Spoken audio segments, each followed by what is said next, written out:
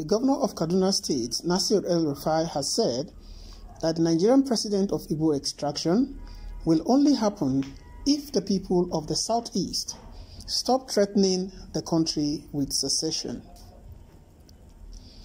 El Rufai said the regions that have produced presidents that ruled Nigeria achieved the feats by negotiating with people and political parties, stressing that politics has to do with negotiations and convincing others on why they should vote for the candidates.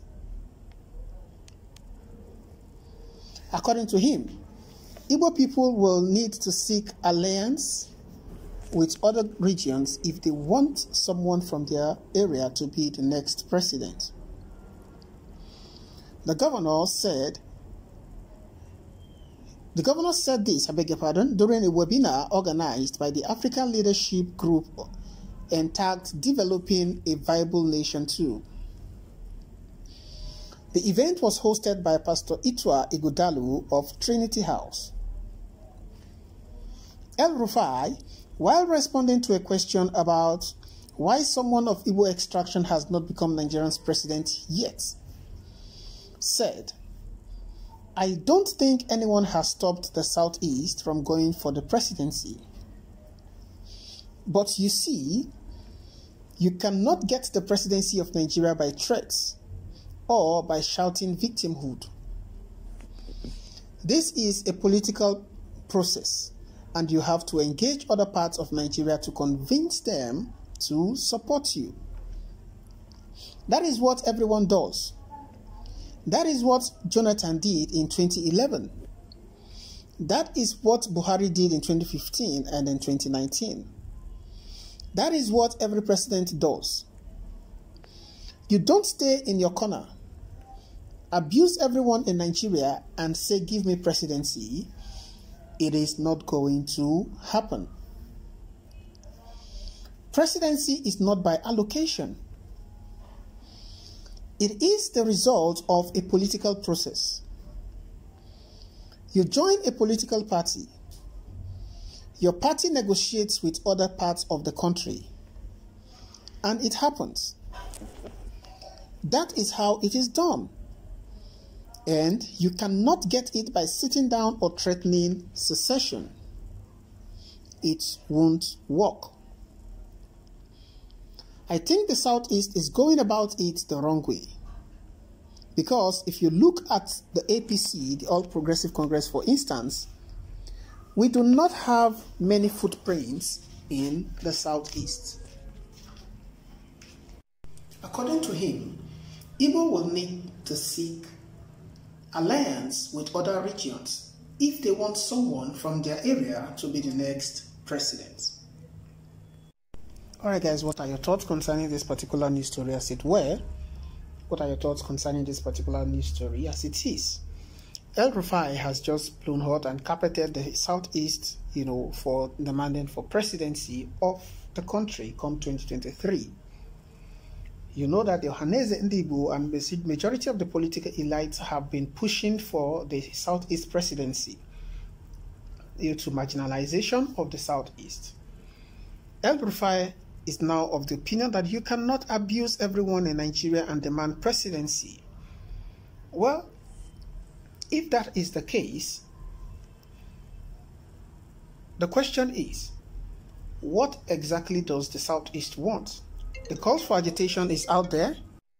The call for agitation is loud, is out there. People are asking, you know, are calling for secession. People want Biafra. A lot of people want Biafra. And the question now is if a lot of people are calling for Biafra, then what is the hope of the people? What is the hope of Nigerians? What is the hope of the people of the Southeast? it tells you that probably majority of the people in the southeast are not even interested in Nigeria anymore. But the elites, the Igbo elites and um, the Ohanaeze seems to be interested in Nigeria and the presidency. So probably they are the ones who are pushing for it. And uh, I'm sure El Rufai is actually referring to uh, Nnamdi Kanu and um, all those who are calling for agitation in the southeastern part of the country. The question is, you cannot um, blame them. The marginalization is just too much. The treatment of the people of the southeast is just too um, out of the world. No region in this country has been treated in such uh, a way, in, with such disdain. And that is just the truth of the matter. We must tell ourselves the truth. I stand to be corrected if I'm wrong. You know, people need to be told the truth. It doesn't matter whose ox is God.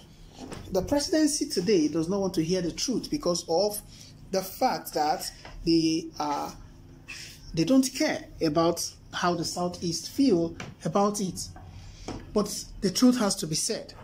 So if El Rufai is now throwing tantrums at the Igbo, saying that you cannot abuse everyone in Nigeria and demand presidency, then it tells you that they are not even talking about the treatment that they have given to the people of the southeast. They are not even talking about it. They don't even care about it. They don't want to hear anything about it. All they want is that you just fix it, get it done. And things are not done that way. That is just the truth of the matter. Things are not done that way. You must show concern, you must show care to these people. If you don't show concern and show care to these people, how do you expect them to um, know that you actually feel their pain or you feel what they are going through? So you can see that there is a huge challenge or there is a serious issue on this particular um, area or in this axis. It is sad and unfortunate, but that is just the truth of the matter. So you can see now that there is not even agenda, there is no plan to uh, accommodate the people of the Southeast in 2023 elections at the federal level. So it tells you that to a very large extent, the presidency might just remain in the north if care is not taken. And that is why you see that majority of the people from the southeast are not pushing or wanting to uh, have anything to do with Nigeria anymore. They are tilting towards the Biafra agitation. So, to a very large extent, you might not blame them. So, that's just what it is. But we keep our fingers crossed to see how things unfold. The question now is Will Biafra be realized anytime soon?